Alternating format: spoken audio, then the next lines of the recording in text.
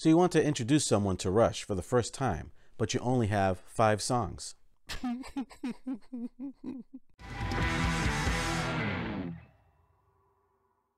So Rush has 20 or so studio records. They have several live recordings, a bunch of videos on YouTube, and you can only pick five songs to introduce someone to Rush. Which ones are they? The problem is, like I mentioned, there are tons of songs. So how do you pick the right songs? Well, do you pick your personal favorite songs? That might not be a good idea because maybe your favorite songs are from a lesser known era, let's say. They're more for Rush fans or fans of Rush that have been that way for a long time. Perhaps another option, you could go way back to the beginning when they were fresh, but that might be too far back and it may not be the taste of many people. So you really got to go somewhere in the middle. If you want to introduce someone to Rush, you want to present them songs that are contemporary-ish, that still define who Rush is. That if someone were to hear Rush today that have heard of them, they immediately identify that's definitely Rush. And that's what I'm going to help you with today. These are the five songs you should pick if you're going to introduce someone to Rush for the first time. And I'll give you the reasons why it should be these five songs, and then where to go from there. Number one, in a particular order, is Tom Sawyer. Tom Sawyer was released in 1981 off of their Moving Pictures record, probably their most successful record of all. And Tom Sawyer is the most recognizable Rush song. And it doesn't matter if it's your favorite song or not. Uh, for a lot of fans, it's not their favorite song, but for a lot of fans, it is. I went through a time where I got tired of hearing the song. And then I came back to it, and I can hear it every day because it is a really great song. And Rush accidentally fell into that song being the most famous one, most recognizable of theirs, and even they didn't think it would be. But it just so happens that it is. It's been played on every tour since the record came out, and it really just smacks the listener in the face as to the incredible musicianship that's displayed, and it's just three guys. So definitely the first song you should use to introduce someone to Rush is Tom Sawyer. The second song you should play to a newbie Rush fan is The Spirit of Radio from the 1980 release Permanent Waves. The Spirit of Radio is a very interesting song because it's very happy. It's very inspirational. It has a lot of different time signature changes. It has a little bit of rock. It has a little bit of reggae. It has concert hall. It has spectacle. And it even has longing. And the song has been inter interpreted in many different ways. And it's really a nice lyrical song. The lyrics are great. When someone starts to get to know Rush, they'll notice that a lot of Rush lyrics are great because Neil Peart, arguably the greatest rock lyricist of all time. And they'll really see it in this song and it tells a little story about radio, believing in the freedom of music, glittering prizes, salesmen, everything that was romantic about listening to the radio. And probably something that's lost today because I don't ever listen to the radio. But there's something about that song that kind of inspires you to want to do so. It's a really fun song, has great musicianship as always, great guitar, great drums, great bass, and it's a really good contrast from Tom Sawyer. They're, they're very different songs, and it just shows the wide range that Rush is that they displayed in all of their songs. So a great number two song to introduce to a Rush fan is, or to introduce a newbie fan, is The Spirit of Radio. The third song you should use to introduce a newbie Rush fan to Rush is Limelight. Limelight is from, again, Moving Pictures, released in 1981, and it's a favorite of the band themselves.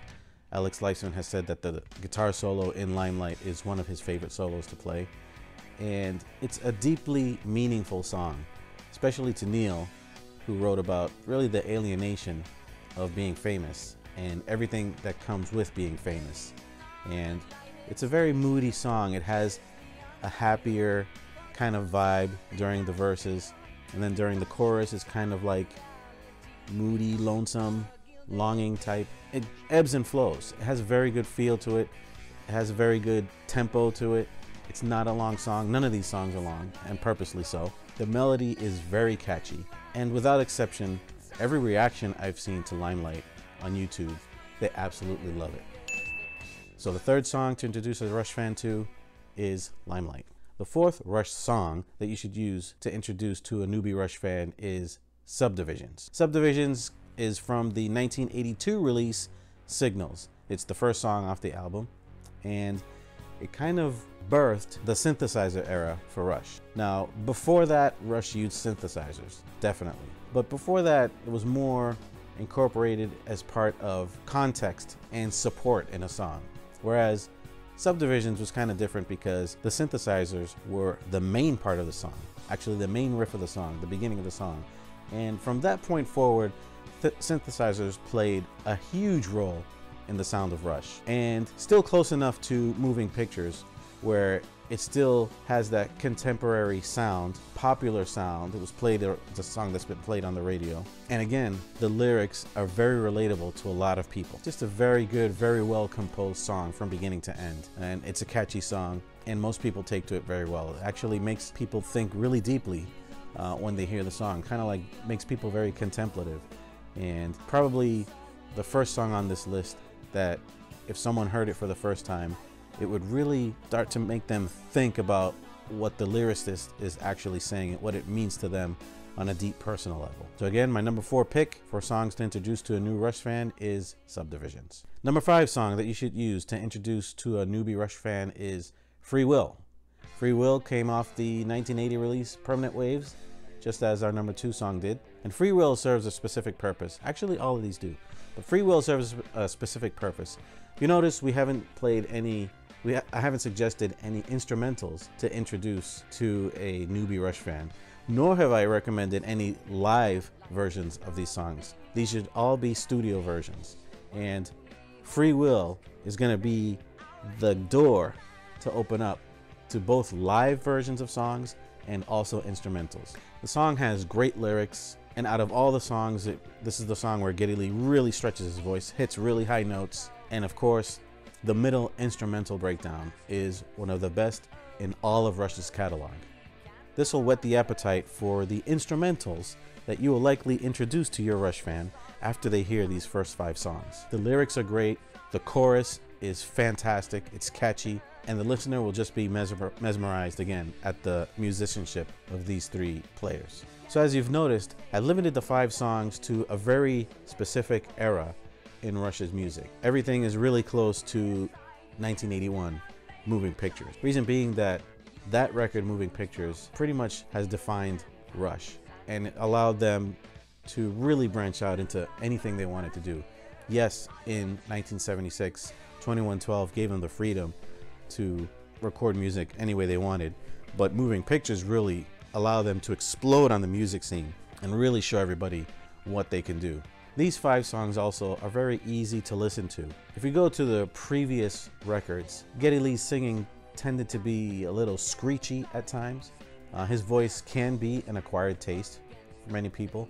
I've seen reactions where it's very rare that I've seen people not like Geddy Lee's voice, but if you introduce them to their very much older stuff first, they might be kind of off put by his voice at least at first. Really during this time of permanent waves, moving pictures, and signals, Geddy Lee really started to have lots of control over his singing, both in the studio and live.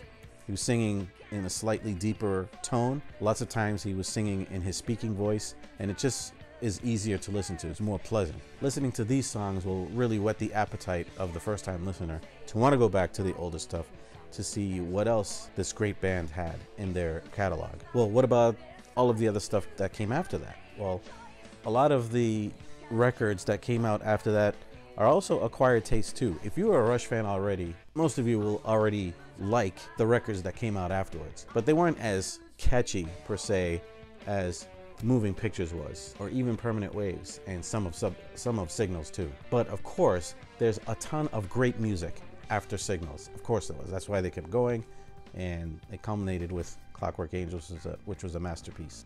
So here's where I'd like to hear from you.